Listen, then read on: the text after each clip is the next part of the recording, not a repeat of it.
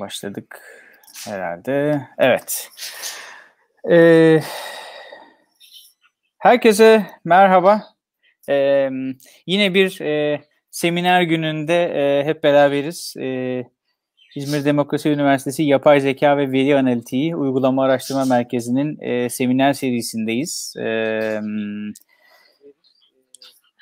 bu, hepiniz hepiniz hoş geldiniz. E, bugünkü konuğumuz e, benim bölümden de e, çalışma arkadaşım, çok sevdiğim e, doçent doktor e, Osman Büyük, e, Osman Hoca.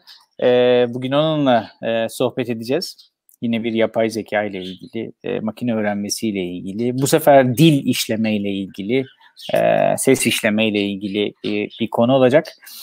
E, hoş geldin Osman Hocam, merhaba. Hoş bulduk, teşekkür ederim. Ee, öncelikle şey açılışı belki şey yapmak lazım. Ee, herkesin e, Gençlik ve Spor Bayramı'nı kutlamak lazım. Geçmiş e, 19 Mayıs e, Gençlik ve Spor Bayramı'nı kutlamak lazım. E, böyle günler önemli. E, şimdi bu kutlamadan sonra da ben kısaca bir e, Osman Hoca'yı sizlere tanıtmak istiyorum. E, ondan sonra zaten mikrofonu ve sözü ona vereceğim. E, o kendisi e, gayet güzel bir şekilde benim eksiklerimi de e, onun tanıtımı ile ilgili eksiklerimi de giderir. E, şimdi dediğim gibi Osman Hoca ile biz aynı e, üniversitede, aynı bölümde birlikte çalışıyoruz. iş arkadaşıyız. E, şöyle bir düşünecek olursak aslında Osman Hoca e, elektrik elektronik mühendisliği, Bilkent Üniversitesi elektrik elektronik mühendisliği e, mezunu. E, değil mi? 2003 yılında sanırım. E, sonrasında e, Sabancı Üniversitesi'nde yüksek lisansını gerçekleştirmiş, e, tamamlamış 2005'te. Sonra da Boğaziçi Üniversitesi'nde 2011'de doktorasını e, bitirmiş e, Osman Hoca. E, Türkiye'nin en iyi üniversitelerinden bir, bir birkaçında e, vakit geçirmiş aslında ve eğitimini tamamlamış. E, bu bu üniversitelerde bu, bu bölümler bu bölümleri bitirmek, bu dereceleri almak o kadar kolay değil. Tebrikler. Ee, şeyde master çalışması, yüksek lisans çalışmasında da galiba Türk Türkçe dili için e, ses e, tanıma e, evet. sürekli zamanda ses tanıma konusunda bir çalışma yapmıştın galiba değil mi Osman Hocam? Evet. E, sonra doktorada da Boğaziçi Üniversitesi'nde bu sefer e, bu alanda önemli e, isimlerden, önemli araştırmacılardan olan Türkiye'deki e, önemli araştırmacılardan olan Levent Hoca ile Profesör Levent Arslan'la birlikte e, çalışmış. E, Telephone Based Text Dependent Speaker Verification hatta da tezinin e, çalışması bildiğim kadarıyla.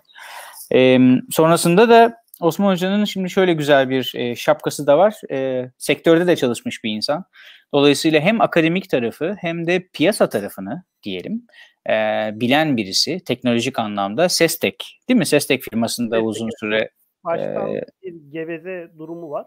Geveze aha. bir şirket. Ama ben girdiğimde aslında Sestek'ti. İkisi birlikteydi. Ee, sonradan Sestek'te devam etti aslında. Sestek şirketi. Evet. Evet Sestek'te de uzun süre e, herhalde bir 7-8 sene falan sanırım yani orada geçirdiğiniz zaman. E, şeyden sonra e, üniversitemize katılmazdan önce de katılmadan önce de Kocaeli Üniversitesi'nde bir akademik geçmiş geçmişi var e, Osman Hoca'nın. Kocaeli Üniversitesi'ne gele elektronik mühendisliğine, elektrik elektronik mühendisliğinde galiba oradaki e, bölümde. E, şimdi de e, aramızda e, bizimle beraber e, doçent doktor olarak e, bizimle e, birlikte çalışıyor. E, şey konusunda da hem araştırma tabii ki derslerde hepimiz derslerde e, yoğunuz ama araştırma konusunda da oldukça e, faaliyette e, faaliyeti bol olan e, bir kişidir Osman Hoca. Onlardan birazcık bahsedecek herhalde. Muhtemelen hem geçmiş araştırmalarından hem de şimdiki araştırmalarından birazcık bu e, şeyde yapay zeka literatürünü de e, derin öğrenme daha doğrusu literatürünü takip eden insanlar bilirler. E, bu attention e, bu ilgi hani Türkçe'ye birebir çevirirsek ilgi diyelim ona hadi. E, attention önemli bir mekanizma. Onunla ilgili birazcık e, bahsedecek sanırım. Birazcık da asıl e, popüler e, tekniklerden olan bu transformer e, networkler sanırım birazcık. Onlardan evet. da e, bahsedeceksin hocam. E, benim için de güzel bir e, eğitim e, şeyi olacak, semineri olacak. Transformer networkleri ben hakikaten hiç bilmiyorum. Ee, öyle hoş geldin tekrar. Ee, ben bu tanıtımla sözü e, sana vereyim Osman Hocam. Ee, Teşekkür ederim Devrim Hocam.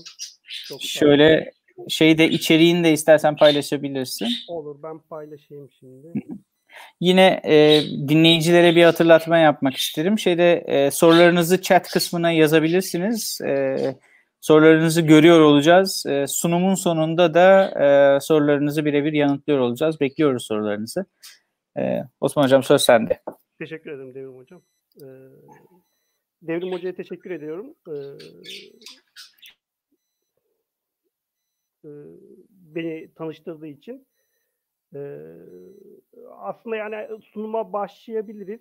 E, bugün aslında bu biraz ilginç bir ismi var. Attention is all you need. You need. E, aslında bu makalenin ismi. E, böyle biraz dikkat çekici de bir isim koymuşlar. E, sunumdaki slaytlar aslında İngilizce olacak ama ben e, Türkçeyi çok da bozmadan Türkçe anlatmaya çalışacağım e, sunum boyunca. E, bu aslında makalenin ismi. Bu Transformer denilen network'ün yani Transformer denilen aslında derin ağ diyelim. Derin ağının e, tanıtıldığı makalenin ismi. Attention is all you need. E, sadece dikkat mekanizması kullanıldığından dolayı hiç e, bildiğimiz işte convolutional ya da e, LSTM gibi işte e, recurrent e, neural network'ler kullanılmadan sadece attention'da aslında e, şu anda yapacağım sunumda kelime e, gösterimlerini elde ettiğinden dolayı böyle bir isim koymuşlar. Biraz da böyle ilgi çekici bir isim. E, o bakımdan da ben de sunuma bu ismi koymayı istedim. Şimdi bizim sunum boyunca aslında örneğim bu örnek olacak aslında.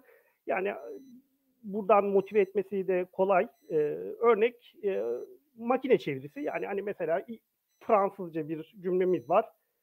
Bu Fransızca cümleyi bir İngilizce cümleye çevirmeye çalışıyoruz. Yapmak istediğimiz işlem bu. Bunun için Transformer'ı kullanabiliriz. Transformer yapısını kullanabiliriz. Burada aslında bir black box şeklinde gösterilmiş e, bir Fransızca cümlemiz var. Girdi cümlemiz bu cümle. Ve bir çıktı cümlesi oluşturmaya çalışıyoruz. Bu çıktı cümlemiz İngilizce cümle olacak. E, bu Transformer'ın içerisinde neler var, hangi mimariler kullanılıyor, nelere dikkat ediliyor e, buna ayrıntılı bir şekilde anlatmaya çalışacağım sunum boyunca.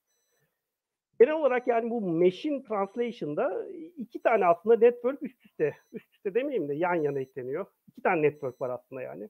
Birinci network'ümüz şurada gösterilen encoder dediğimiz şey. Kod çözücü diyelim buna. Türkçe herhalde kod çözücü diye. E, kodlayıcı diyelim encoder. Kodlayıcı e, network'ümüz var. Şurası.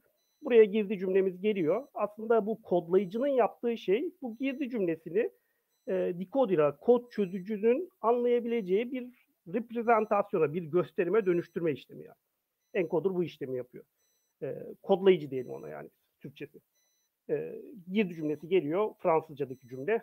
Kodluyor bunu ve decoder'a e, kod çözücüye veriyor. Kod çözücünün yaptığı işte e, bu kodlayıcıdan gelen bilgi, bu gizli cümlesiyle ilgili bilgiler, kodlanmış bilgiler, bir vektör reprezentasyonu olabilir bu, e, vektör gösterimi olabilir. Bu bilgileri alıp e, decoder e, bir e, istediğimiz machine translation işini yani makine çevirisi işini yapmış oluyor. E, encoder'a giren e, Fransızca cümleyi decoder kod çözücü bir e, İngilizce cümleye dönüştürmüş oluyor. Yani iki tane network'ümüz var aslında e, bu şekilde birlikte çalışan. Şimdi aslında buradaki problem şu, encoder e, bir gösterim oluşturuyor. Diyelim ki bu encoder'ın içerisinde biz e, recurrent e, neural network'leri kullandık. Yani e, tekrarlayıcı ağ diye belki çevirebiliriz. E, bu network'leri kullandığımızda son e, bu network'ün son e, layer'ında e, oluşan reprezentasyonu decoder'a gönderiyoruz normal şartlar altında. İlk başta böyle başlamış yani. Fakat yani bir süre sonra şöyle bir şey e, olabilir mi? Yani aslında diyelim şu şuradan e, encoder ve decoder yapısı gözüküyor. Şurası encoder'ımız, kodlayıcımız. Şurası da decoder olduğunu düşünün. İşte e, bu sefer ters çevirmiş e, İngilizce cümle geliyor. I am a student. Bunu bir Fransızca cümleye dönüştürmeye çalışıyoruz aslında. Yapmaya çalıştığımız işlem şu. Normal şartlar altında encoder e, bir, birkaç tane katmandan oluşuyor ve kod, kodlayıcının oluşturduğu son katmandaki bilgi decoder'a, kod çözücüye veriliyor. Ama yani özellikle bu machine translation işinde mesela şu ben Fransızca bilmiyorum ama şu kelime sanki student kelimesiyle İngilizce olan şu kelimeyle daha ilişkili gibi. Hani Devrim Hoca da az önce söyledi. Daha ilgili gibi gözüküyor. Yani sanki student'ın çevirisi, Fransızca çevirisi şu kelime gibi. Tahminim yine Fransızca bilmiyorum ama I am de herhalde şunla daha ilgili gibi gözüküyor. Oysa yani ilk yaptığımızda encoder bir reprezentasyon oluşturuyor, bir gösterim oluşturuyor ve bunu direkt decoder'a veriyoruz. Bu ilgiyi yani kelimelerin birbirine ilgisini bir şekilde koruyabilmek için bu attention mekanizması denilen bir mekanizma önerilmiş. Burada yapılan işlem şu şekilde görebiliyoruz aslında. Sonuçta decoder'ın bir state'i var. Şurada decoder state'i kırmızıyla gösterilen ve encoder'ın da oluşturduğu, son katmanında oluşturduğu bir takım state'ler var. Bu decoder state ile, state ile decoder'ın o andaki durumuyla encoder durumları arasında bir ilgi hesaplayan, bir yakınlık hesaplayan mesela dot product olabilir.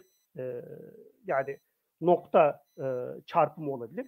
Bu vektörle, decoder vektörüyle bütün encoder'ın oluşturduğu, e, kodlayıcının oluşturduğu vektörler arasında bir e, yakınlık veya uzaklık hesabı yapılabilir. Burada yazılan katsayılar onlar. Yani decoder state ile encoder state'leri arasında bir yakınlık hesaplaması yapılıyor.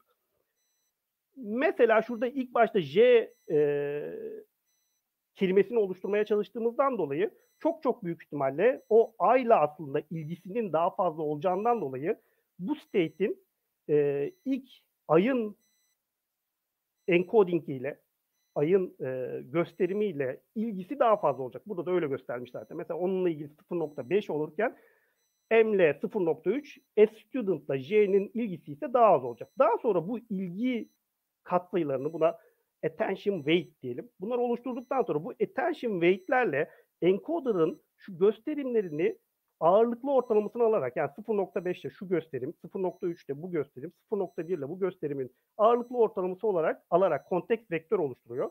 Ve bu kontekst vektör aslında decoder'a verilmiş oluyor. Yani attention mekanizmasının, dikkat mekanizmasının e, esprisi burada. Yani aslında son e, katmandaki e, şu vektörü direkt vermek yerine decoder state ile encoder state'leri arasında bir ilgi, bir uzaklık hesaplayıp bu uzaklığa göre e, oluşan kontekst vektörü e, bizim kod çözümcümüze vermemiz e, bu mesela machine translation işinde e, performansı arttırıyor.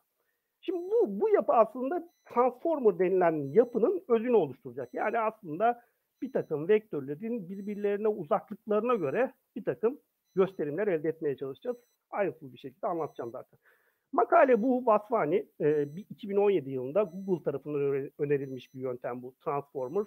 E, aslında TPU ile bu e, yapıları çalıştırmak için de bunu öneriyor şu anda Google. E, makalenin ise Attention is all you need dediğim gibi.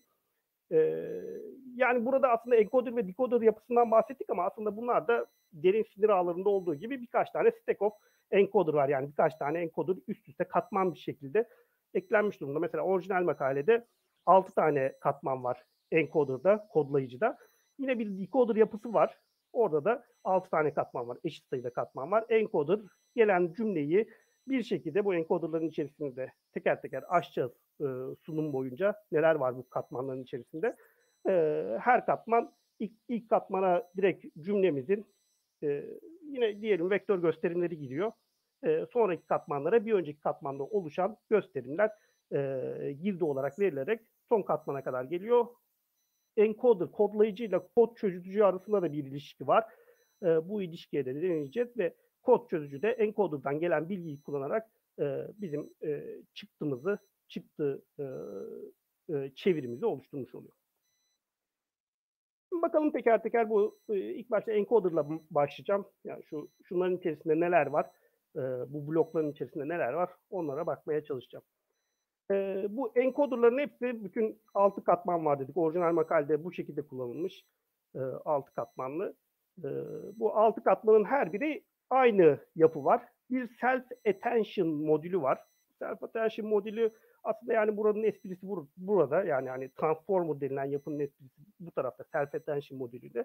Sonra da arkasından da e, bizim de bildiğimiz diğer e, derin ağlarda, derin sinir ağlarında çok e, statik olarak şey olarak e, kullanılan bir feed forward e, ileri beslemeli bir e, neural network var. Bu ikisi birbirini izliyor. Yani katman şeklinde girdi buraya giriyor. Self attention modülünden geçiriyor. Sonra da bir feed forward neural network e, ileri besleri bir sinir ağı modülünden geçerek bir sonraki katmana geliyor. Yani her bir encoder katmanı, şurada gösterdiğimiz her bir encoder katmanı aslında böyle iki tane e, uç uça eklenmiş diyelim e, katmanla oluşuyor. Birincisi self attention, ikincisi de feed forward neural network. Herhalde self attention bizim için daha ilgi çekici olacak burada çünkü e, asıl iş o self attention modelinde. Şimdi nasıl yapılıyor bu iş?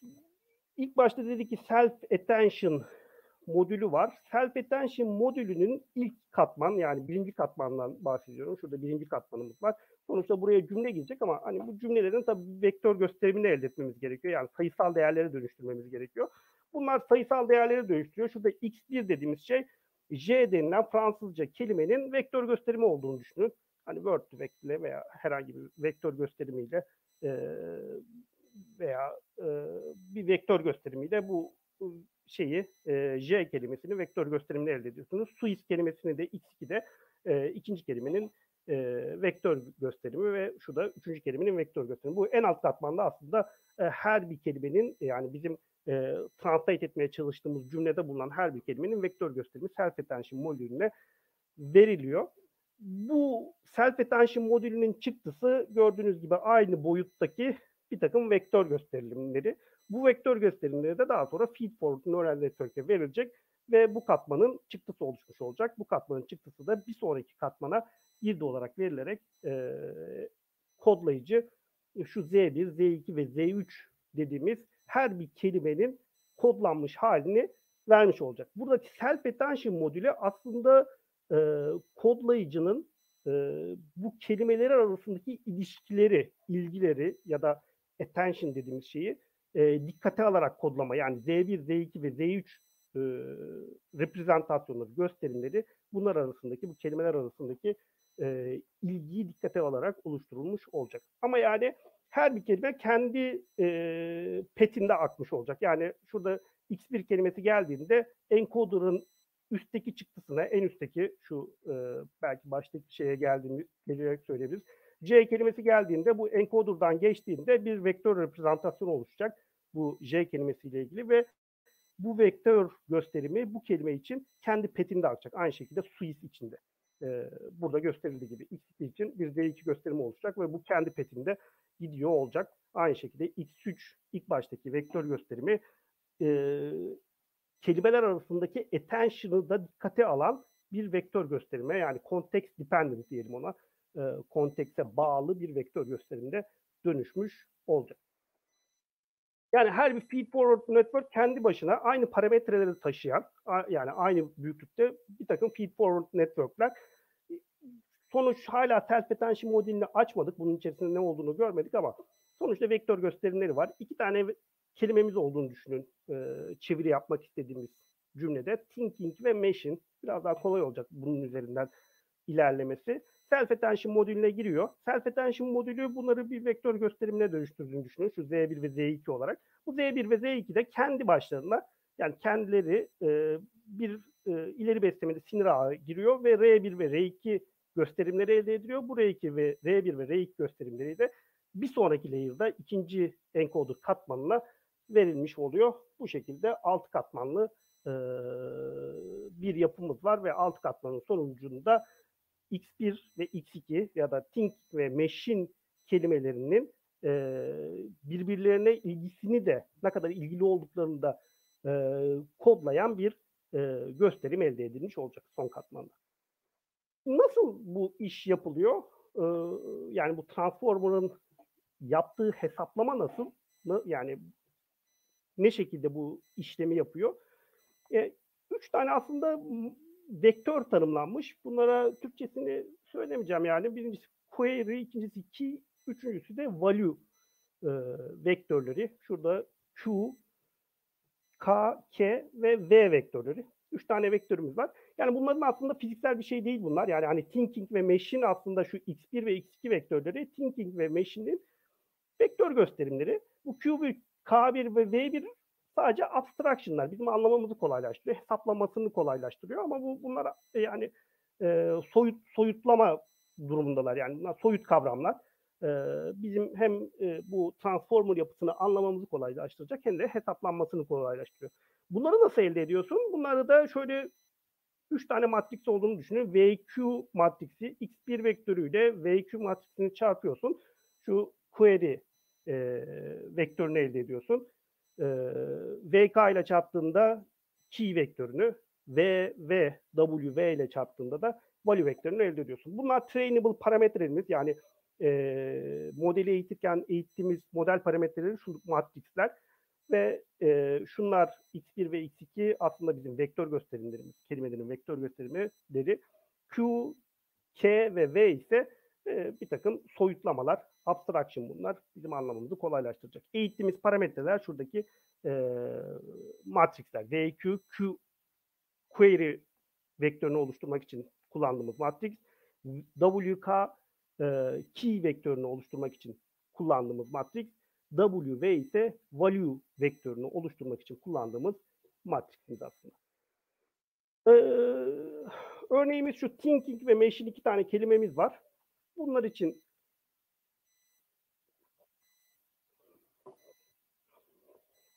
nasıl oluşturuyoruz çıktığımızı şu, şuna bakmaya çalışıyoruz aslında. Genel şekle gelirsek şu Z1 ve Z2 vektörlerini yani şu self attention modülüne e, bizim ilk baştaki vektör gösterimlerini girdikten sonra Z1 ve Z2 e, gösterimleri nasıl elde ediyor ya da Z1 ve Z2 vektörleri nasıl elde ediliyor ona bakmaya çalışıyoruz.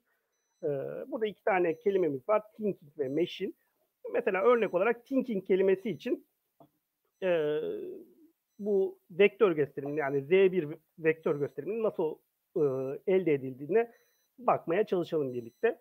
E, bunun için aslında bu thinking kelimesini her bir kelime, bir tane kelimemiz var, machine kelimesi. Bununla, buna karşı skorlamamız gerekiyor. Yani bu skor mantığı aslında az önce söylediğim gibi attention mantığı, mantığı var aslında burada. Yani hani e, thinking kelimesi acaba machine kelimesiyle ne kadar ilgili? Yani ilk örnekten düşünürseniz translation yaptığımızda yani herhangi bir cümlenin içerisinde bir it kelimesi olabilir. Bu it kelimesi mesela bir kete refer edebilir. Bu ikisinin arasında bir ilgi var. Bu ilgiyi bu, bu yapının içerisinde korumaya çalışıyoruz aslında yani. Bu self attention dediğimiz şey. Yani cümlenin içerisinde bazı kelimeler diğer bazı kelimelerle ilgili olabilir. Mesela Mustafa Kemal Atatürk dediğinde belki Kemal kelimesi Atatürk kelimesiyle oldukça ilgili olabilir veya savaş kelimesiyle ilgili olabilir gibi e, bu ilgileri koruyan gö bir gösterim elde etmeye çalışıyoruz aslında. Şimdi bu thinking kelimesi için e, nasıl oluşturuyoruz? İlk önce şöyle bir şey yapıyormuşum. Bu e, kelime için, thinking kelimesi için query'lerini e, her bir diğer kelimenin keyleriyle çarpıyorsunuz. Mesela şimdi thinking için oluşturmaya çalıştığımız için Q1 yani Q thinking thinking kelimesinin query'siyle yine thinking kelimesinin e, key'ini çarpıyorsunuz. Mesela diyelim ki bu ikisinin dot product'ı bu. E, bunu çarptığınızda diyelim ki 112 çıktı. Aynı şekilde Q1 yani thinking için oluşturmaya çalıştığımız için e, bunun query'siyle, thinking kelimesinin query'siyle diğer kelimenin machine kelimesi key'ini çarpıyorsunuz şunu. Q1 ile Q2'yi çarpıyorsunuz. Bunun ilgisi büyük ihtimalle biraz daha düşük çıkacak. 96 çıktı diyelim ki. Yani başka kelimeler olsaydı aynı şekilde burada da bir e, işlem yapacaktık. Yani Q1 kelimesiyle üçüncü kelimenin key'ini çarpacaktık. Q1 kelimesiyle dördüncü kelimenin key'ini çarparak e, dot product'ını alarak aslında e, değerler hesaplamış olacağız. Bu değerleri daha sonra bir e, normalizasyon için bir e, katsayıyla bölüyorsunuz. E, bu katsayı aslında bizim bu query, key ve value vektörlerimizin boyutu. E, orijinal makalede bu boyutu 64 olarak kullanmışlar. Yani 64'ün karekökü 8. Yani bu elde ettiğiniz değerleri sonuçta Q1 ile K1'i çarptınız. Q1 ile K2'yi çarptınız. 112 ve 96 geldi. Bunu vektörün boyutuyla bu e, vektörlerin boyutuyla normalize ediyoruz. Yani vektörlerin boyutunun kareköküyle aslında yani vektörün boyutu 64, 64'ün karekökü 8, 8 ile normalize ediyorsunuz. 112, 14 oluyor, 96, 12 olmuş oluyor. Sonra da burada elde ettiğiniz değerleri bir softmax katmanından geçiriyorsunuz. Yani bunları biraz probability'ye dönüştürmüş oluyorsunuz. Bunlar pozitif değerler oluyor böylece ve hepsinin toplamında 1'e normalize edilmiş oluyor. Yani 14, 12 olan katsayıları bir softmax katmanından geçirerek e, 0 ile 1 arasında e, 1'e toplanan toplamları 1 olan e, değerlere dönüştürmüş oluyorsunuz. Böylece aslında şunu bulmuş olduk. Bu thinking kelimesi e, kendisiyle 0.88 kadar ilgisi varken machine kelimesiyle aslında 0.12'lik bir yani bu bir katsayı aslında ilgisi var. Belki daha ilgili bir kelime olsaydı burada e, yani burada şu anda 1'e normalize ettiği için ikisi sadece toplamları bir. Başka kelimeler olsaydı ilgili olan kelimelerin e, şu değerlerinin daha yüksek çıkmasını çıkacak şekilde eğitimini yapıyoruz aslında sistemi. Bir sonraki işlem aslında şu valüleri hiç kullanmadık. Hep query'ler ve key'leri çarptık. E, attention'ı belirlemek için. Valüler nerede işin içerisine giriyor? Şu 0.88 ve 0.12 katsayılarını elde ettik şu anda. Bu elde ettiğimiz katsayıları şu value vektörleriyle çarpıyorsunuz. Mesela 0.88 ile V1'i çarpıyorsunuz. 0.12 ile V2'yi çarpıyorsunuz ve bunları topluyorsunuz. Şu Z1 vektörünü elde etmiş oluyorsunuz. Ee, böylece aslında eğer ilgili bir kelime mesela thinking kelimesinin e, çıktı olarak sonuçta şu Z1'leri şu anda elde etmiş durumdayız. Şur- şuraya gelmiş durumdayız. Self attention modülünün X1 kelimesi için bizim şimdi bu örneğimizde thinking aslında bu, bu kelime için gösterimli, vektör gösterimini elde etmiş durumdayız. Bu vektör gösteriminde eğer e, thinking kelimesi diyelim ki machine kelimesiyle çok ilgiliyse şu katsayı yüksek çıkacak. Onun value vektörünü daha yüksek bir değerle e, çarpacak V2 value vektörünü. Böylece yani şuraya daha fazla attend etmiş olacağız. Yani şu kelimeye, machine kelimesine, thinking kelimesi, machine kelimesiyle daha ilgiliyse bu durumda e, şu katsayının yüksek çıkmasını bekliyoruz. Bu katsayı yüksek çıkınca value'yu daha yüksek bir değerle çarpmış oluyoruz ve onun o kelime için, think kelimesi için e, value vektörlerini şu 0.12'lerle 0.88'lerle çarparak ağırlıklı bir ortalaması aldığımızdan dolayı oluşan z vektöründe e, ilgili kelimenin yani ilgisi fazla olan kelimenin e, etkisinin daha fazla olmasını bekliyoruz. Aslında yani ilk başta e, konuştuğumuz şu attention mekanizmasına e, benzer bir mekanizma burada da var. Böylece Z1 ve Z2 vektörlerini elde etmiş olduk. Bu self attention modülünün çıktısı daha sonra bu self attention modülünün çıktısını e, her bir kelime için bir tane çıktı oluşuyor. Tabii diğer kelimeler için de böyle bunu yapıyorsunuz. Yani sonuçta machine kelimesinin için yaparken Q2, K1 ile Q2, K2 ile başka bir kelime varsa Q2, K3 vektörüyle ilk önce dot product'ını alıyorsunuz. Bir takım e, sayılar elde ediyorsunuz. Sonra e, vektörün boyutunun kareköküyle normalize ediyorsunuz. Soft kat, katmanından geçirip şu kat sayıları elde edilip elde edip bu kat sayıları V1, V2, V3 vektörlerine çarparak ağırlıklı ortalamalarını alarak Z2 vektörünü ve diğer kelimeler için de vektörleri oluşturmuş oluyoruz. Yani birbiriyle ilgili kelimelerin e, birbirlerine etkisinin e, fazla olmasını bekliyorsunuz. Yani bu çarpma toplama işlemlerinin hepsi aslında bir e, vektör e, matris çarpması olarak gerçekleşiyor. E, burada şu kelimemiz diyelim ki e, bu embedding size'ımız 4 olsun. Yani aslında orijinal makalede galiba bu 512 olarak kullanılmış. 512 boyutlu bir e, vektör veriyorsunuz. Her bir kelimenin 512 boyutlu e, bir embedding'ini oluşturuyorsunuz ve ilk katmana bu 512 boyutlu e, vektörü veriyorsunuz. Burada örnek olarak 4 e, boyutlu bir vektör olsun. İki tane de kelimemiz olsun. Hani thinking ve machine diye düşünün. Bu thinking'in e, vektör gösterimi. Bu aşağıdaki de machine'in vektör gösterimi. Sonuçta bunu VQ vektörüyle çarpıyorsunuz. E, şu VQ vektörüyle. Bu trainable parametremiz aslında bu matrixler ve Q e, query vektörlerini oluşturuyorsunuz her bir kelime için. E, VK ile çarptığınızda, WK ile çarptığınızda key'leri, e, WV ile çarptığınızda ise value e, vektörlerini elde etmiş oluyoruz.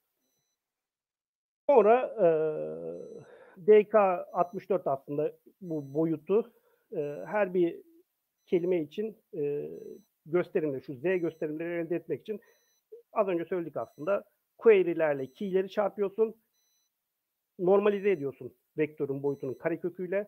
Sonra bu bulduğun değerleri softmax katmanından geçirerek 0 ile 1 arasında 1'e sum edecek probabilitelere dönüştürüyorsun ve her bir value vektörünü bu değerlerle çarparak e, her bir kelimenin e, vektör gösterimini elde etmiş oluyorsun.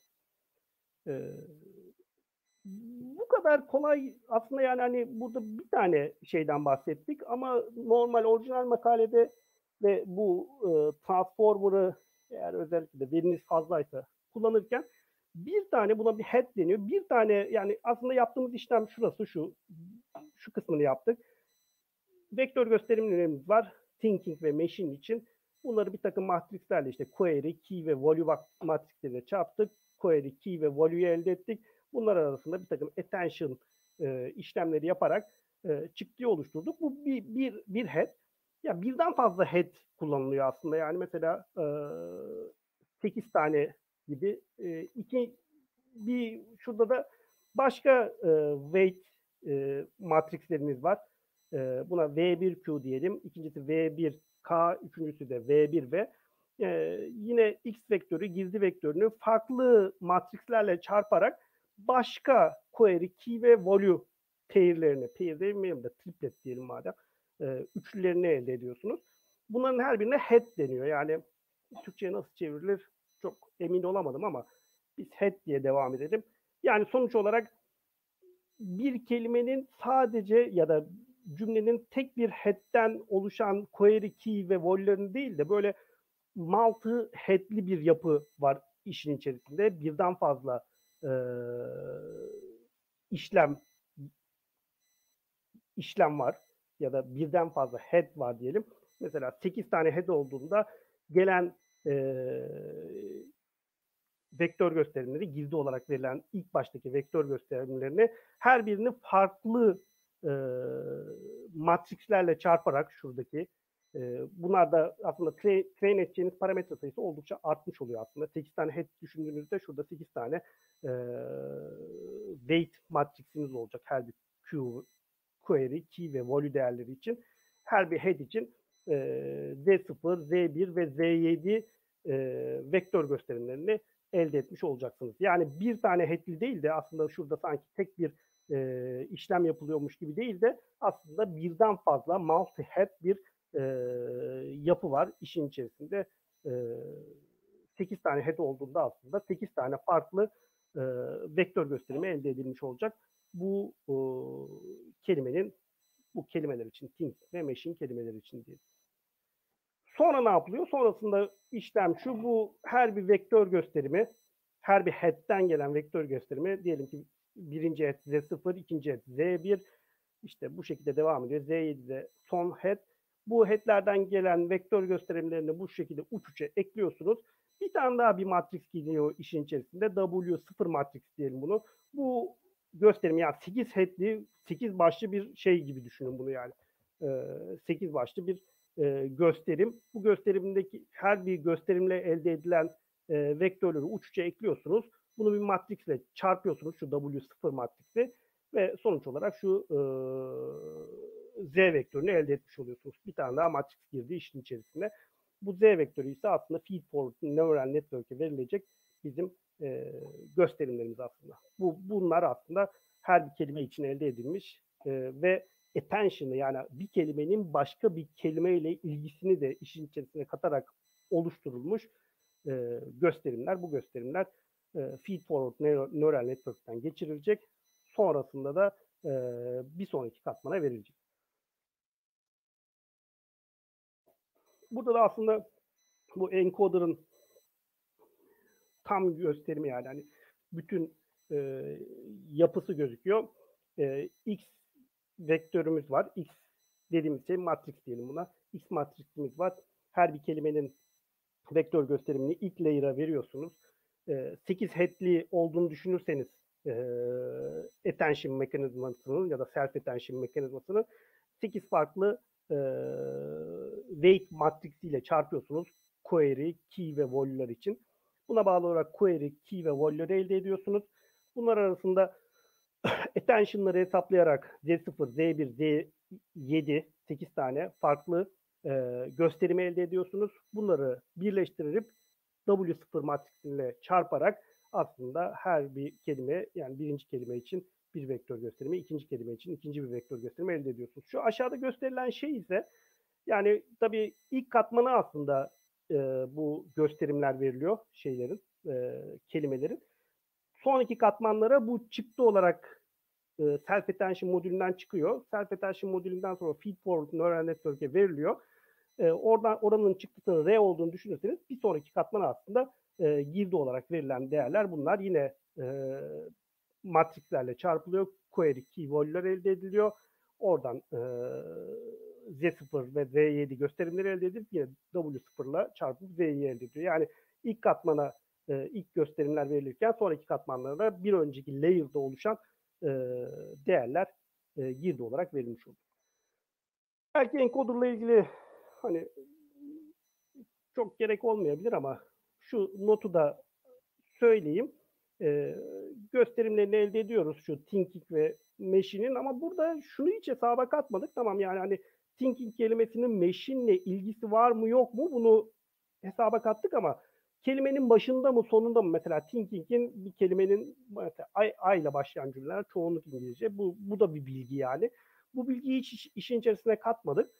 Bu bilgiyi işin içerisine katabilmek için aslında ilk baştaki şu vektör gösterimlerin üzerine positional encoding deniyor. Yani hani o kelimenin kaçıncı sırada geldiğini tutan bir e, gösterim de ekleniyor, toplanıyor yani iki gösterim. Yani thinking kelimesinin gösterimiyle bu positional encoding dediğimiz şey e, yani o kelimenin hangi sırada olduğunu gösteren bir vektör bu e, vektör gösterimin üzerine ekleniyor.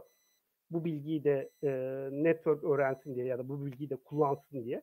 E, bu bundan bahsedebiliriz. Yani bir positional encoding ekleme işi var. İkinci olarak da e, burada bir e, residual yani atlamalı bir yapı var. Yani şu x1 x2 denilen şey self attention modülüne girmeden bir sonraki modüle de giriyor. Şu residual connection'da var işin içerisinde. Bir de e, normalization layer var. Burada e, bir normalization da yapılıyor. Ama biz şu self attention modülünü, şu feed forward neural network modülünü e, özellikle self attention modülünü ayrıntılı bir şekilde yaptık. Belki final note olarak bir positional encoding eklendiğini ve e, normalizasyon ve residual connection'larında e, yapının içerisinde bu e, transformer yapısının içerisinde olduğunu e, söyleyebiliriz. E, bu bundan sonra yani encoder'ı yani kodlayıcıyı oldukça e, ilerlemiş olduk. Yani sonuç olarak iki tane vektörümüz var, vektör gösterimimiz var. Bunların üzerine bir positional yani bu thinking ve machining cümlenin birinci mi ikinci mi kelimesi olduğunu gösteren bir encoding de ekledik. Self attention modülüne gönderdik. Self attention modülü her birini ayrı ayrı işliyor. Bir takım gösterimler elde ediliyor. Bunlar toplanıp toplanıp dediğimiz şey şurada residual connection olduğu için orijinal vektörler de şuraya geliyor. O ikisi toplanıp normalize ediliyor. Bunların her biri feed forward neural network'e kendileri giriyor. Bir kez daha normalize edilip bir sonraki katmana veriyor. Bu birinci encoder katmanı, şurası ikinci encoder katmanı. Şurada şu yapıyı pek konuşmadık. Burası decoder kısmı. Yani burası kodlayıcı kısmı. Kodlayıcı kısmı dediğimiz gibi bu kelimeler arasındaki ilgiyi koruyarak bir takım vektörler oluşturacak her bir kelime için. Sonra bu e, vektörler e, kod çözücüye yani decoder kısmına verilmiş olacak. Decoder kısmında da benzer yapılar var gördüğünüz gibi. Self attention modülü var. Bu self attention modülü hemen hemen aslında encoder'da kullanılan self attention'la aynı. Bir add normalized yine var. Feed forward network'ler var. Bu da herhalde e, bir miktar üzerinde durmamız gereken şey şu encoder, decoder, attention dediğimiz bir tane de ekstradan yapı var yani self attention, add normalize e, ve feed forward zaten encoder'da da vardı. Decoder'da ekstradan şu encoder, decoder, attention dediğimiz şey aslında aslında isminden de anlaşılıyor gibi gözüküyor. Yani hani encode yani bu, buna self attention deniyor bu arada şurasına. Çünkü bu girdi cümlesinin o cümlenin kelimeler arasındaki attention'ı bulmuş oluyor. Yani kendi attention'ını bulmuş oluyor. Burada ise encoder'dan gelen bilgiyi de kullanarak e, encoder'la decoder kelime yani decode edilen kod sonuç olarak çıktı olarak oluşan kelimelerle şu encoder'dan gelen bilgi arasındaki ilgiyi hesaplayan bir modül. Şimdi burada ekstradan konuşulması gereken şey belki şu encoder decoder retention, encoder ile decoder arasındaki ilgi mekanizması. Ee, normal şartlar altında aslında kelimemiz geliyordu. Bütün query, key ve value'leri self attention'da bu, bu vektör gösterimlerinden elde ediyorduk. Burada ise e, query'ler e, bir önceki layer'dan oluşturulur, oluşturulurken e, key ve value'ler yani şu query ile key çarpıp sonra value'leri bu query ile key'in dot product'ının e, ağırlıklı ortalamasıyla çarpıyorduk value vektörlerini. Burada key ve value'ler bizim e, encoder'ımızın, kodlayıcımızın son layer'ında oluşan değerlerden geliyor şunlar. Key ve value'ler. Query'ler ise e, bizim bir önceki layer'da oluşan e, vektörlerden gelmiş oluyor. Bu source target attention ya da encoder decoder attention da böyle. Self attention da hepsi aynı yerden geliyordu yani x vektöründen geliyordu. Burada ise query'ler e, bir önceki layer'dan gelirken key ve value'lar ise e, encoder'ın kodladığı e, yerden gelmiş oluyor. Şimdi burada bu işte çalışacak mı? Çalışıyor. Ee, bir animasyon var aslında.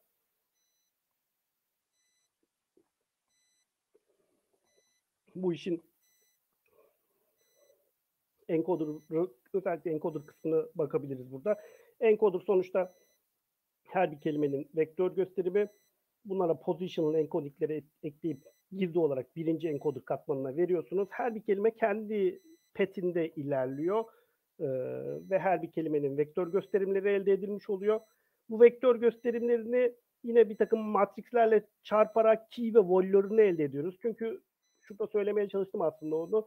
Encoder, decoder, attention modülünde yani şu şu modülde key'ler ve value'lar e, encoder'dan gelecek. Query'ler sadece e, decoder'ın içerisinde oluşturacak. O yüzden şu key ve value'ları elde ediyorsun son layer'ında. Şimdi gösterecek onu. Bunlar decoder katmanlarına geliyor, giriyor. E, decoder katmanlarında e, decoder'ın içerisinde özellikle e, encoder, decoder, attention içerisinde şu değerler kullanılacak. E, key ve value'lar için. Query'ler dediğimiz gibi bir önceki e, self attention mekanizmasındaki gibi alınıyor. E, her bir kelime gelip encoder tamamlanıyor. Sonra da e, decoding işlemi başlıyor. Burada daha ayrıntılı bir e, animasyon var. E, encoder kodluyor. E, key ve volley'ler oluşuyor encoder katmanından. Tabii burada her bir zaman adımında bir tane kelime oluşturuyorsunuz. Mesela je suis yani pek okuyamayacağım herhalde ama yani bu, bu Fransızca cümle için şu İngilizce cümleyi oluşturuyorsunuz. Her bir time state'inde bir tane kelime output ediyorsunuz. Ee, encoder'dan gelen bilgi decoder'ın içerisinde özellikle self attention değil şu e, ikinci mekanizmanın şu encoder decoder attention içerisinde e, kullanılmış oluyor. E, bu şuradaki bilgiler. E, son katmanımız aslında bir, bir süre sonra bir kez daha bakacağız son katmanın içerisinde ne var. Ama her bir e, zaman adımında e, bir tane vektör oluşturuyorsunuz, e, bir tane kelime oluşturuyorsunuz. Bu kelime aslında daha sonra e, yani normal bu e, dizden diziye modellerde olduğu gibi girdi olarak e, bir sonraki değere veriliyor ve her bir adımda e, bir tane kelime oluşturarak bu çeviri işlemini yapmış oluyoruz. e, machine translation işlemini yapmış oluyoruz aslında bu transformer'la. Tabii yani nerede bitiyor? Şeyde bitiyor. End of sentence denilen bir özel bir sembol var. O sembolü e, gördüğü zaman kod çözücü tamam diyor ben bu Fransızca cümleyi e, şu İngilizce cümleye çevirdim şeklinde e, duruyor orada yani. Şimdi şu yani hani nasıl oluşturacağımızı çok konuşmadık. Belki final layer'ından bahsedebiliriz e, kod çözücünün. E, final layer'ında şunlar var. Yani şu, şu ana kadar herhalde yani self attention mod self attention modülünde de şundan bahsetmek gerekebilir. Yani sonuçta e, bu encoder kısmında e, sonradan gelen kelimeleri kelimelerle ilgisine de bakabilirsiniz ama bu decoder kısmında sonradan gelen kelimelerin ilgisine yani bakmak çok makul değil. O yüzden sonradan gelen yani e, ilerideki ileride oluşturulacak kelimelerle attention alınmıyor self attention'da. Bir farkı o. E, yani buradaki self attention'da sonraki kelimeler de yani girdi cümlesindeki sonraki kelimelerle de ilgisi alınırken e, decoder kısmındaki self attention'da sonraki kelimelerle ilgisi alınmıyor. Bir farkı da şu encoder, decoder, attention dediğimiz şey. Bu encoder'dan girilen, girilen bilgi, e, kodlanan bilgi diyelim.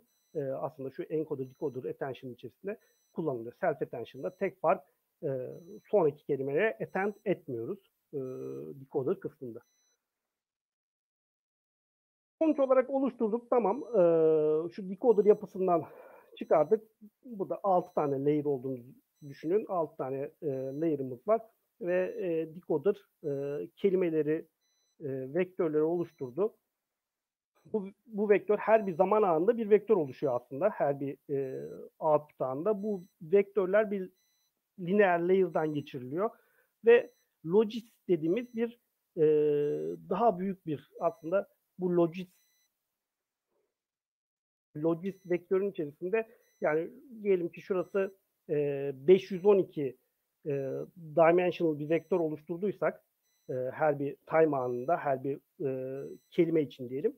Bunu bir doğrusal bir ağdan geçirip e, kaç tane kelimeniz varsa uygulamanızda diyelim ki işte 10 bin kelimelik bir e, translation yapıyorsanız yani İngilizce şeyinizde e, İngilizce translation vocabulary diyelim ona sözlüğünüzde 10 bin kelime olduğunu düşünürseniz 512 boyutlu vektörü 10 bin boyutlu bir vektöre dönüştüren bir doğrusal ağdan geçiriyorsunuz. Böylece şöyle 10 bin boyutlu bir vektör. Bu vocabulary size yani sizin sözlük büyüklüğünüz aslında bir vektöre dönüştürülüyor. Sonra bu softbox katmanından geçirilerek aslında bu bu vektörün her bir e, unitinde diyelim ya da her bir selinde, her bir hücresinde olan sayılar yani bu her bir hücresi aslında sizin sözlüğünüzdeki kelimelere karşılık geliyor. Yani şu birinci kelimeniz, şu ikinci kelimeniz, şu üçüncü kelimeniz ve buradaki sayılar da aslında bu kelimenin e, yani o anda bu kelimenin çevrilme olasılığına denk geliyor. Yani olasılığa dönüştürmek için tabii ilk softmax katmanından geçiyor. Şuradan bahsetsek daha iyi olur zannederim. Yani her bir sel aslında bir kelimeye karşılık geliyor. Bu selin içerisindeki sayılar ise o kelimenin olma olasılığına denk geliyor. Sonuçta yani bu 10 bin tane kelimeniz varsa sizin sözlüğünüzde en fazla e, olasılığa olan, olasılığa sahip olan hücreyi siz çıktı olarak oluşturuyorsunuz. Mesela burada ikinci kelime diyelim ki e, en fazla olasılığı olan beşinci e, şu logit vektör deniyor buna. Bu, bu logit vektörün beşinci e, hücresinde e, yüksek en yüksek olasılık var ve siz de diyorsunuz ki tamam e, bu buradaki bu time step için benim oluşturacağım çıktı m kelimesi. İşte I am student e, çevirisindeki e, m kelimesi. Bu aslında benim bugün şeyle ilgili transformer yapısı ile ilgili anlatmak istediğim kısım burası. Şöyle kısaca aslında belki hani nerede kullanılıyor? Bu çok popüler oldu. Özellikle dil işleme konularında çok popüler bir yöntem haline geldi transformer yapıları. Mesela bir tane kullanıldığı yer aslında şu Universal Sentence Encoder. Burada aslında kelimelerin gösterimleri değil de cümlelerin gösterimlerini elde etmeye çalışıyoruz aslında. Bir cümlemiz var. Bu cümleyi bir sabit boyutlu bir vektöre dönüştürmeye çalışıyoruz. Tabii bu dönüştürdüğümüz vektör uzayında benzer cümlelerin yakın olmasını istiyoruz. Benzer olmayan cümlelerin de birbirlerine olabildiğince uzak olmasını istiyoruz. Burada mesela e, bu use'un içerisinde ya da Universal Sentence Encoder'ın içerisinde yine e, şu anda tartıştığımız, şu ana kadar anlatmaya çalıştığımız e, transformer yapısı kullanılıyor.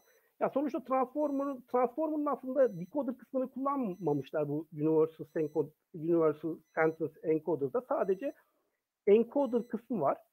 Ee, aşağı dönersek e, sadece şurasını kullanmışlar. E, cümle geliyor, e, kelimeler geliyor. Bu encoder'dan geçiriyorlar. Yani bu anlattığımız transformer yapısından geçiriyorlar ve her bir kelime için aslında bir tane gösterim elde etmiş oluyorlar. Bu gösterimleri çok öyle hani basit denebilecek şekilde e, element wise topluyorlar. Bunlar birer vektör aslında. Bu vektörleri topluyorlar birbirlerine. Ve yani cümlenin uzunluğuna da uzunluğuyla da normalize ediyorlar. Böylece o kelime e, sequence için, o kelime dizisi için e, yani Transformer aslında size bu kelimelerin birbirleriyle ilgisini e, kodlayan bir vektör gösterimi veriyor. Bu vektör gösterimlerinde topluyorsunuz. E, sonra da bir normalizasyon yapıyorsunuz ve bunu e, bu böylece aslında o cümlenin gösterimi olmuş oluyor. Tabii yani buradaki aslında şey yani belki de daha e, etkili olan şey kullandıkları veri tabanları. E, İngilizce için mesela bu sisteme eğitmek için mesela input e, yani soru cevap ikililerini kullanmışlar. Yani mesela soruyla cevabın vektör gösteriminin birbirlerine yakın olmasını istiyorlar. Yani adam şey yapacak yani e, bir, bir soru soracaksın sisteme onun cevabını e, getirecek yani. E, eğitimi de buna uygun şekilde yapıyorlar. Yani bu öyle vektör gösterimleri elde edelim ki e, sorulacak sorulara yani sorularla onlara eşlik eden cevapların gösterimleri birbirlerine yakın olsun ya da farklı text classification testleri de var. Burada mesela sonuç için şöyle basit bir birkaç tane cümle örneği için göstermişler. Mesela I like my phone için şu herhalde koyu renkler e, birbirlerine yakın olan e, şeyler. E, bu textual similarity yani birbirlerine yakın olan şeyler şu yukarıya doğru mesela kendisiyle birbirine yakın çıkıyor. Mesela I like my phone, your cell phone looks great cümlesiyle yakın çıkmış. Yani bu sentence yakın çıkmış. Ee, diğerleriyle mesela o kadar yakın çıkmamış.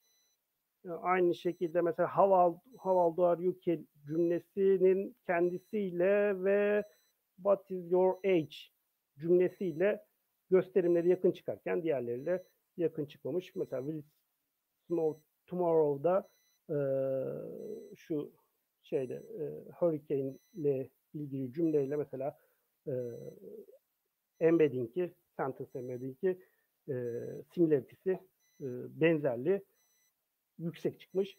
E, diğer cümlelerle benzerliği ise o kadar yüksek çıkmamış. Yani aslında e, benzer cümleleri yakın bu vektör space'de yakın yerlere koyuyor gibi gözüküyor. Diğer bir uygulamada şeyden bahsedebiliriz. Yani e, bu ikinci uygulama bu 2019 yılında Henderson tarafından Convert e, aslında yani buradaki şey e, yani basit basit demeyelim de chatbot içinde kullanılıyor. Ee, burada da aslında yapılmaya çalışılan şey her bir cümle için cümle, bir input cümlemiz var. Yani bu diyelim ki soru. Bu soruya karşılık gelen bir de cevap cümlemiz var. Ee, bu soru cevap pair'lerinin e, vektör space'i, bir, bunları bir vektöre dönüştürüyorsunuz. Ee, yani yani use'a benzer bir şekilde aslında yani Universal Sentence Encoding'e benzer bir şekilde bunları bir, bir şekilde enkod etmeye çalışıyorsunuz. E, vektör gösterimlerini elde etmeye çalışıyorsunuz her iki cümlenin. Yani e, soru cümlesinin ve cevap cümlesinin e, sonuçta birbirleriyle pair olan soru ve cevapların bu göz yeni vektör gösterim space'inde birbirlerine yakın olmasını istiyorsunuz. Böylece yani yeni bir soru geldiğinde ve sizin elinizde bir takım cevaplar varsa mesela bin tane cevabınız varsa yeni bir soru geldiğinde bu sorunun embedding'ini oluşturacaksınız ve diğer embeddingler arasında, diğer gösterimler arasında hangi cevaba yakın olduğunu bulmaya bulacaksınız aslında yani ve kullanıcının önüne de bu cevabı getireceksiniz. Mesela burada e, bu Convert 2019 yılında yapılan çalışmada yine e, bu vektör gösterimlerini elde etmek için yani e, girdi cümlesinin gösterimini tek bir gösterim belli bir size olan gösterimini elde etmek için şurada gördüğümüz gibi bir transformer yapısı kullanılmış. 6 tane yine orijinal makalede de 6 tane kullanılmıştı. 6 tane e, katmanı olan sadece encoder kısmı, decoder kısmı yok. Encoder kısmının yani transformer yapısının encoder kısmını kullanarak aslında e, bir e, şey e, gösterim elde ediyorsunuz. Girdi soru cümlesi için diyelim. E, çıktı olacak diyelim ki bu da cevap cümlesi olsun. Cevap cümlesi için de yine buna CMS de denilebilir aslında. Siyam ağı da denilebilir. E, cevap cümlesi için de bir gösterim elde ediyorsunuz. Bu iki gösterim arasında e, similarity skorunun e, benzerlik skorunun yüksek olmasını istiyorsunuz aslında. Eğitimin amacı da o yani loss fonksiyonunda buna e, uygun şekilde ta- tanımlıyorsunuz. Burada bir takım ayrıntıları girmişim ama ben yani herhalde daha çok e, şunu vurgulamak gerekebilir. Yani bu mesela Convert makalesinde de aslında kullandıkları esas mekanizma şu transformer mekanizması alt katmanlı bir transformer mekanizması kullanılmış ve bir takım vektör gösterimleri elde edilmiş. Burada e, diğer çalışmalarla mesela e, karşılaştırmalarını yapmışlar. Burada Amazon QA yani Amazon'a sorulan sorular ve onların cevapları ile ilgili bir e, veri tabanı bu. Sorular var ve cevaplar var. Burada da e, siz soruya karşılık cevabı üretiyorsunuz diyelim ki e, gerçek cevabı e, birinci sırada bulabiliyor musunuz? O yüzdeyi vermişler. Mesela bu önerilen çalışma 84.3 şu use'u tanıyoruz artık yani bu use universal sentence encoder orada 70.7 çıkmış. E, önerilen yöntem oldukça başarılı çalışmış. Diğerleri de aslında conventional işte term frequency, inverse decrement frequency gibi bir takım e, farklı e, gösterim şekilleri. E, benim sunumum bu kadar. E, aslında soru varsa alabiliriz. Teşekkür. Ee, çok teşekkür ederiz. Ee, Osman Hocam çok teşekkürler. Bu gayet şey oldu, e, aydınlatıcı e, oldu aslında şeyde. E, Transformer networklerle ilgili ve bunların dil işlemeyle, dil işlemedeki uygulaması ile ilgili hakikaten çok güzel şey var. E, Umarım faydalı olmuştur yani. Evet, evet gayet şey eğitici e, bir e, bir seminer oldu aslında.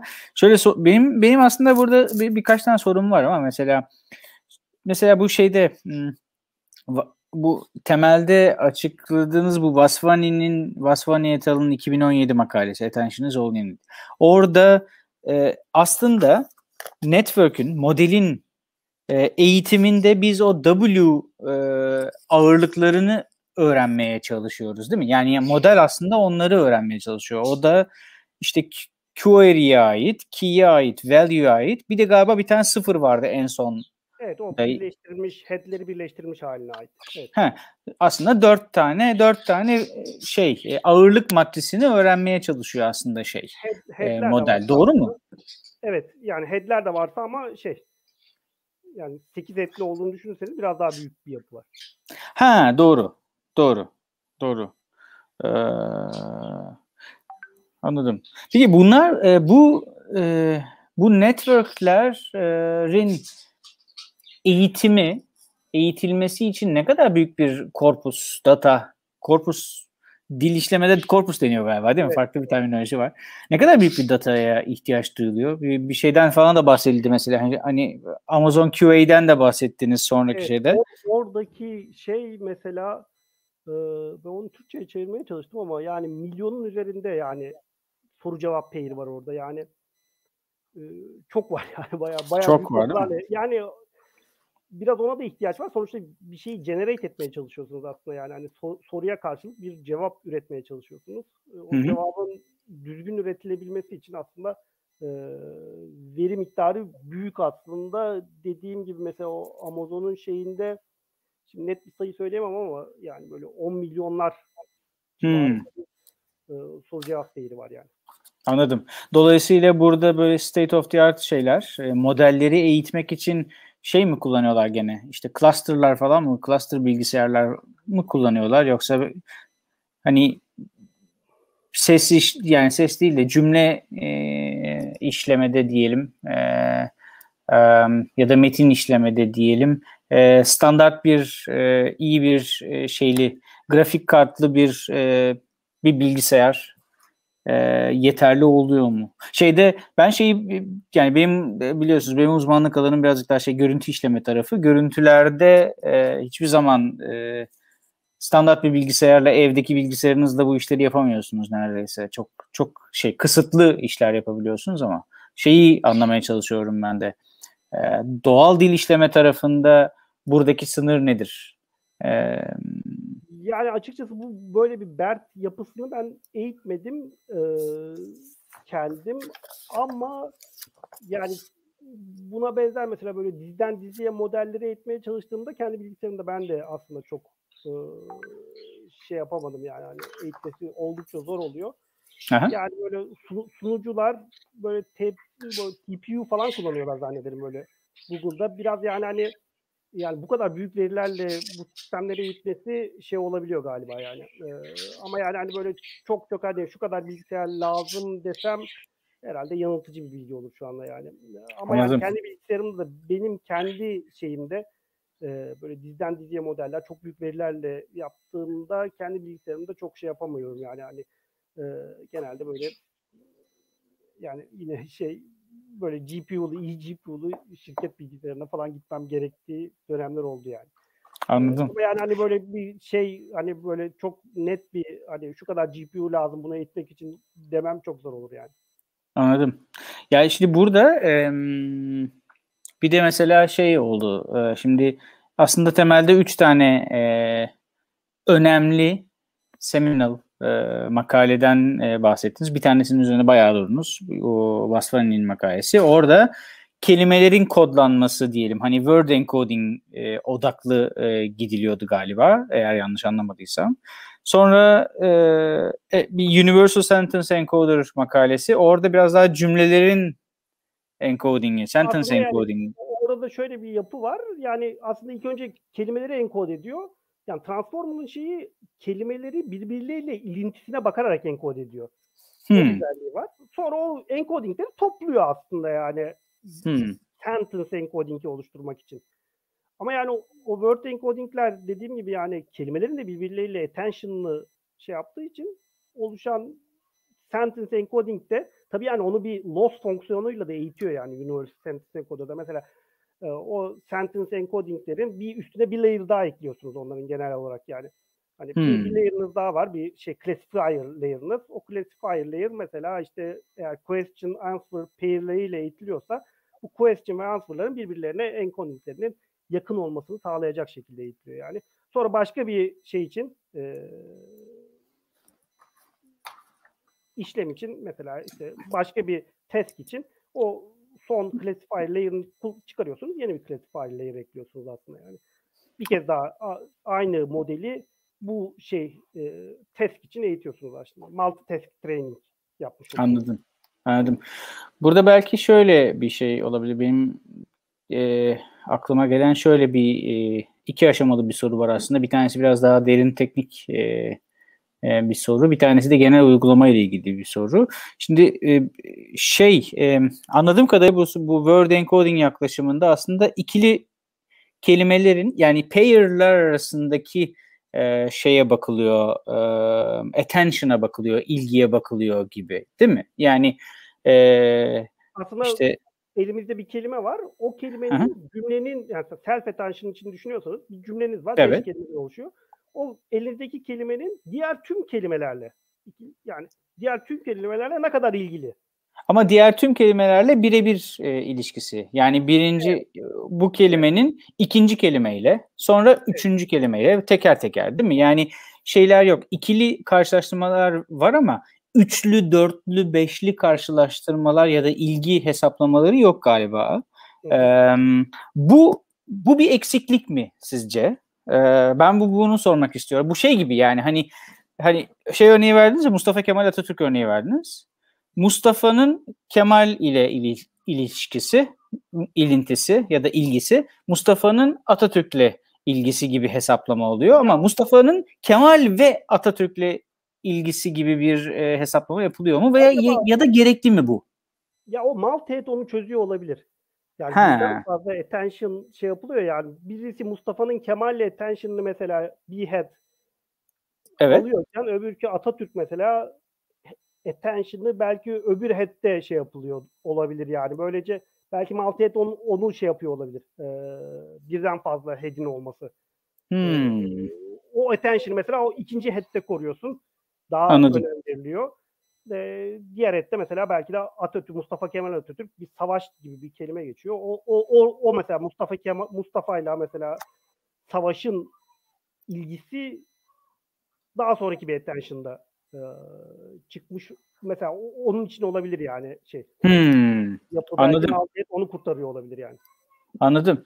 Ee, bir bununla ilgili bir genel bir soru da dolayısıyla bu, mesela bunlar genellikle işte bu Latin alfabesini kullanan e, popüler diller dillerde uygulanmış ve onlarda örnekleri gösterilmiş e, uygulamalar tabii ki çok normal olarak Şimdi ilk başta Fransızca, ha, İngilizce. Ha ben oraya gelecektim. Birincisi Türkçe'ye uygulanmış mı? İkincisi Türkçe'ye uygulanmasındaki zorluklar, kolaylıklar, eksiklikler e, neler olabilir e, acaba? Yani aslında Hugging Face diye bir bu Transformer yapısının implement edildiği ve şeylerin paylaşıldığı, e, modellerin paylaşıldığı bir e, site var. Hı hı. Hı hı. E, orada Türkçe modeller de var. Hı. BERT eğitimi de var. E, Ber, eğitilmiş BERT. Mesela bu BERT dediğimiz şey de aslında bu Transformer yapısını kullanarak yine bir gösterim elde ediyorsunuz. E, Anladım. Kelime gösterimleri elde ediyorsunuz. Bununla ilgili şeyler var. E, Türkçe'de var. Tabii İngilizce daha fazla o kesin. E, Türkçe'ye bu işleri uyarlamaktaki ilk problem e, özellikle supervised data bulmak, veri bulmak. Bu kadar Hı-hı. büyük ölçeklerde supervised data bulmak. Mesela işte soru cevap pair'leri var. Amazon onları toplamış, dağıtmış. O milyonlarca bir soru cevap pair'i.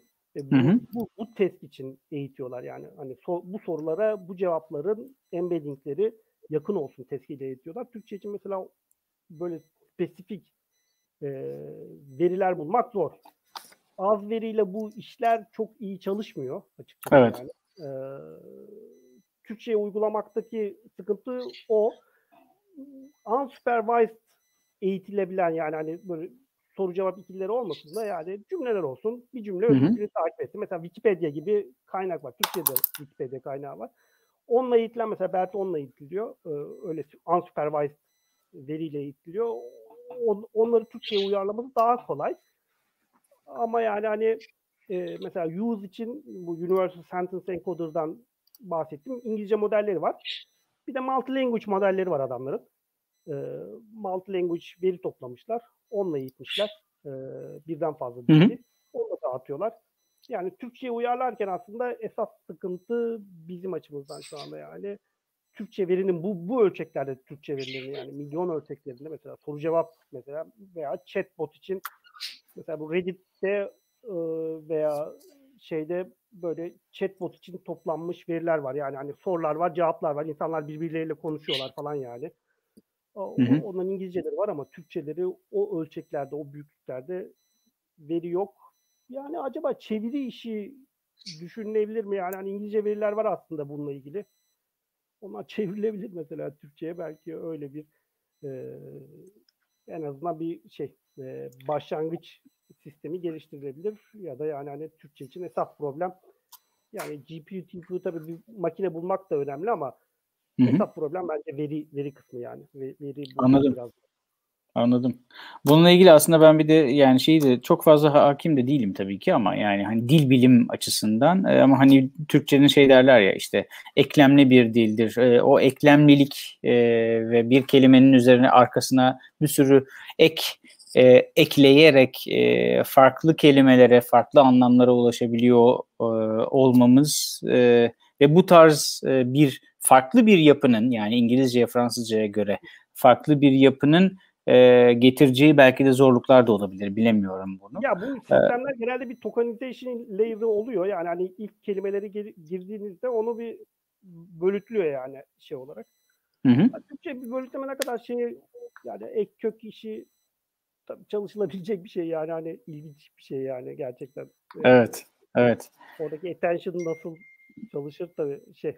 Tabii ama yani bu buradaki esas şey veri veri e, hmm. büyük verilerin e, Türkçesini tam olarak Belki yani Türkçenin bu mantığında bilmiyorum mantıklı mı ama yani Türkçenin bu eklemlilik mantığında işte hecelere bölüyor olmak, hecelerle e, devam ediyor olmak, çalışıyor olmak. Yani kökten sonra heceleri de, de dikkat ediyor olmak. Belki yani hece encoding falan şimdi word encoding, sentence encoding falan de, diye devam ettik ya. Bir de soru cevap e, pair'leri falan diye gittik. Belki de Türkçe için şey olması gerekiyor yani. E, hece encoding, hecenin İngilizcesi de neydi? Syllabus yok. E, neydi? Syllabus değildi de. Neyse hatırlayamadım. Ee, belki öyle bir mantık olacak bilmiyorum. Yani tabii hani bilmeyen bu alanı çok fazla bilmeyen bir insanın şey yorumu bu. Saçma da olabilir. Yok yok hocam çok şey makul şey yani benim yüksek lisans tezim aslında onunla alakalı. Yani bu metin işleme değil de aslında konuşma tanıma için. Yani konuşma tanımada çok büyük problem o yani. Hani sonuçta bunların hepsinde mesela bu translator'da da öyle. Logist vektör dedi ki 10 bin tane sizin vocabulary'inizde kelime var. 10 bin tane kelimeyle çeviri yapabiliyorsunuz. Hı hı. Belki İngilizce için makul. Ama. Türkçe için 10 bin kelime Çekoslovakya'yı belki kapsarsınız 10 bin kelime ama Çekoslovakyalılaştıramadıklarımızdan mısınız? Orada olmayacak yani kesin 10 bin evet. kelime. 10 bin kelime Türkçedeki kelimelerin çok az bir kısmını kapsar. Yani herhangi bir tekst toplasanız 1 milyon kelimeyi çok rahat elde edersiniz yani Türkçe'de. Orada hecelemek, hecelerde çok küçük olacak heceler yani. Tek harfli heceler de var. Hmm. Yani böyle ek kök olayları çok şey yani. E, Zorluk çıkartabilir. Yani. Yok yani, yani hecelemek yerine köküne ve ekine bölüyorsun yani. Kök köklerin sayıları zaten şey yani makul sayıda kök çıkarırsın yani. yani öyle çok büyük o kökler Türkçe'de kökleri şey yaparsın yani bir vokabülerin içerisinde bir sözün içerisinde toplarsın. Aynı şekilde şeyler içinde. Eklerin de bir standardı var yani. Onları ikisini birleştiren yani hecelere bölmektense böyle köklere eklere bölmek mesela benim tezim onunla alakalıydı yani. Tanırken kök ve ekleri tanıyalım. Kelimeleri tanıyamayız zaten. Kelimelerle bir sözcük de oluşturamayız yani. Makul bir sözcük. 10 bin kelimeyle bir şey tanıyamazsın Türkçe'de. Onun yerine köklerden ve eklerden bir şey oluşturup e, sözcük oluşturup kökleri ve ekleri tanıyın yani. Sonra birleştirin onları kök ve ok olduğunu bilerek. Yani aslında şey e, çalışılan bir, ee, bir konu yani. Şöyle iki tane de aslında yani şey var. Ee, bu yapıların başına bir şöyle, ekleniyor yani. Var yani standartında. Anladım. Anladım. Ee, şöyle iki tane aslında merak edilen nokta var. Bir tanesi bu e, bu dil işleme çözümlerinin ee, Türkiye'de hani şeyi de biliyorsunuz ya sonuçta e, sonuçta bir şirkette de uzun süre çalışmış olduğunuz için e, bu alanda Türkiye'de e, hangi şirketlerin ne tarz ürünler geliştirdiğini, ne tarz ürünler e, piyasaya sürdüğünü ve nelerin kullanılmakta olduğunu da bir miktar e, biliyorsunuz bizlere göre. Dolayısıyla soru aslında bu tarz ürünler e, Türkçe için ya da İngilizce için şöyle diyelim. E, ne kadar e, hayatımızın içinde ne kadar gerçeklenmiş durumda, ne kadar ürün olarak e, kullanılıyor? Yani aslında şimdi şey bu mesela chatbot gibi düşünürseniz hani soru var ona bir cevap üretiyorsunuz aslında o mesela Convert denilen şeyde. O mesela şu andaki mesela Ziraat Bankası'nın ben sitesinde biliyorum. Oraya bağlanırsanız Evet. Orada bir chatbot ekranı çıkıyor zaten. Bu şey bizim kullandığımızda benzer bir ekran. Orada bir şey soruyorsunuz siz. Ve makine size sorduğunuz soruya bir cevap veriyor. Şu anda yani o, o bakımdan hayatımıza girmiş durumda. Şimdi o, o yapıların içerisinde biraz daha böyle çünkü orada sorulan sorular çok şey praktik. Yani hani dolar kaç para diyor soruyor adam. Hı hı. Ee, o andaki bilgiyi database'den falan da çekmesi lazım. Yani böyle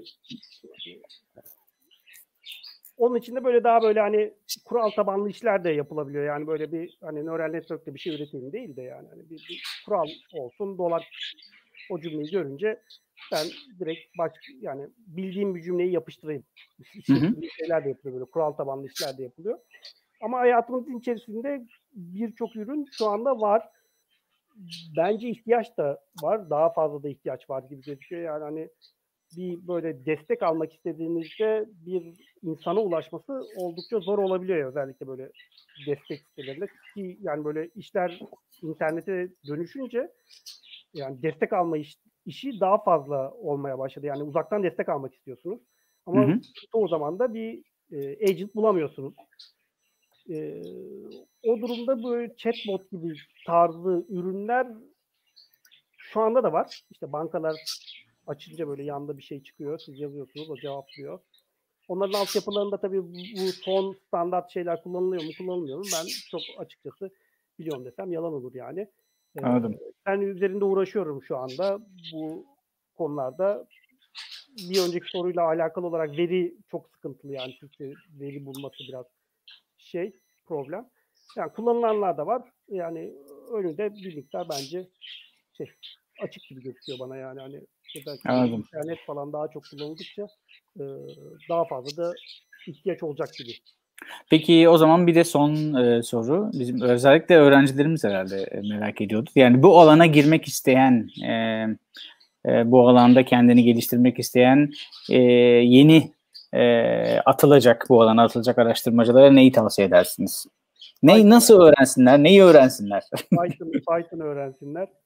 Ee, ilk başta bence yani programlama işine e, lisans eğitiminde önem versinler özellikle de Python hı hı. o veri işleme ile alakalı çalışmaların derin öğrenme kısımları da öyle yani, yani derin öğrenme mekanizmaları. Mesela az önce söylediğim Hugging Face de öyle yani Python bir şeyi, kütüphanesi aslında yani. ona girmeleri iyi olur, hı. öğrenmeleri iyi olur. Bence must şeylerden, ilk şeylerden bir tanesi o. Ee, tabii işin teorisi de var. Hani teorisini bilmeden sadece Python öğreneyim, kütüphaneleri ekleyeyim üst üste çalıştırayım bir yere kadar yani olan şeyi yapıyorsunuz. Hani İngilizce size bir veri veriyorlar. O İngilizce veriyi aynı şekilde Python biliyorsanız kodlayabiliyorsunuz ama mesela Türkçenin yapısıyla alakalı sizin bahsettiğiniz ekler, kökler falan var. Belki İngilizce veriyi sadece Türkçe ile dönüştürmek yeterince iyi çalışmayacak. O zaman işin teorisine de bakmamız gerekebiliyor. Ee, o konuda da tabii yani hani e, hani bizim bölümde bir şey yüksek lisansta belki doğal dil işleme veya işte dersler açıyoruz. Yani bu attention mekanizması aslında böyle dizi olduğu, hani kelime dizisi de olabilir bu. Ya da böyle e, ses işaretindeki dizi de olabilir. Orada da kullanılıyor aslında benzer attention mekanizması. Orada da bahsediyor olacağız. E, bir de teorisine ihtiyaç olabilir ama yani hani kendisini geliştirmek isteyen kişi bence Python'da başlayabilir yani Python. Öncelikle programlama ve kodlama programlama, tarafında kodlama, şey olması lazım. Kendini yani öğrenme lazım. işlerine girecekse özellikle yani hani kütüphanelerin çoğu e, aslında Python dilinde gibi gözüküyor yani oraya yavaş yavaş alıştırmaları gerekebilir kendilerine yani. Çok şirket var. Bu doğal dil işleme konusu Türkçe'de Türkiye'de hani ben ses işleme işiyle çok uğraştım. Genelde böyle konuşma işleme, konuşma tanımı falan gibi son zamanlarda doğal dil işleme konusuna bakıyorum. Sanki daha fazla böyle doğal dil işleme yapması da bir miktar daha kolay. Ses verisi toplaması daha zor. Hani Wikipedia'yı okutamazsın yani Wikipedia'daki metinleri al oku zor bir iştir, masraflı bir iştir ama Wikipedia gibi bir metin verisi aslında elimizde var. Daha veri oluşturması bir miktar daha kolay olabilir. O yüzden de şey e, daha fazla şirket var gibi gözüküyor e, bu konularda çalışan. E, ihtiyaç da var gibi yani şey olarak yani hani böyle hani chatbot gibi soru cevap otomatik soruya cevap oluşturan sistemler hani agent'e ihtiyaç duymadan seninle diyaloğa geçecek birisi e, ilginç yani ve şey e, önde açık gibi gözüküyor. Önde açık gibi görünüyor. Peki. Ee, Osman Hocam çok teşekkür ediyoruz. Sağ olasın. Ee, çok güzel bir seminerdi. Çok güzel bir sunumdu. Eminim e, dinleyenler de dinleyecek olanlar da e, çok faydalanacaklar. Ee, tekrar teşekkür ediyorum. Ee, yayınımızı burada bitirebiliriz herhalde. Tamam, ben, ben çok teşekkür ediyorum. Beni davet ettiğiniz için. Umarım e, faydalı bir sunum olmuştur. Evet eminim eminim ondan. Ee, görüşmek üzere. Ee, katılan herkese teşekkürler. Hoşçakalın.